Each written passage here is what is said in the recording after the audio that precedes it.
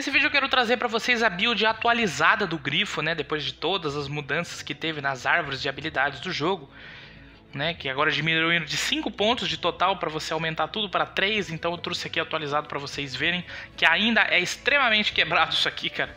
A build do Grifo, para mim, é disparada das builds mais divertidas do jogo, né? Depois que eu testei a primeira vez, eu realmente me apaixonei por essa build aqui.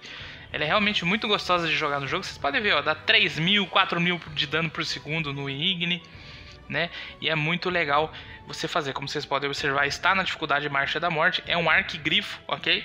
Então, foi derrotado com a maior facilidade do mundo.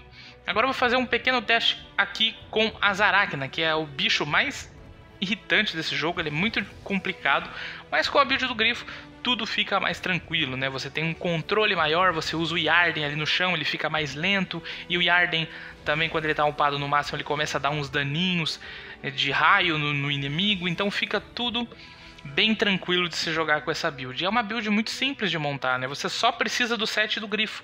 Depois você vai aprimorando outras coisinhas ali. No caso das poções que eu estou utilizando, Estou usando só o Elixir do Tordo e o filtro de Petri melhorado e só. Isso aqui pode ficar melhor se eu melhorar o filtro, mas enfim. Em questão do equipamento, eu nem uso as espadas para jogar com essa build. Eu estou usando todo o equipamento do grifo, basicamente, tudo do grifo. E três glifos de Igni ali no peitoral, né? O ideal é se você colocar na armadura inteira para aumentar o máximo possível do dano do Igni.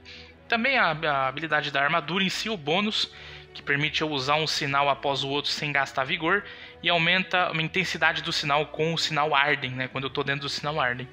O que é interessante é que vocês podem ver como que está gasto meus pontos, eu basicamente maximizei o que eu uso mais.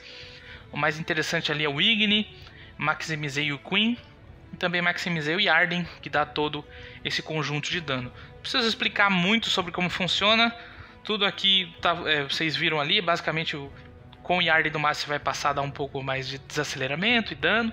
E o Igni vai queimar e vai dar mais dano e etc. Não tem muito segredo. Só ser equipado do jeito que tá que vai funcionar, ok? Aqui é o seguinte.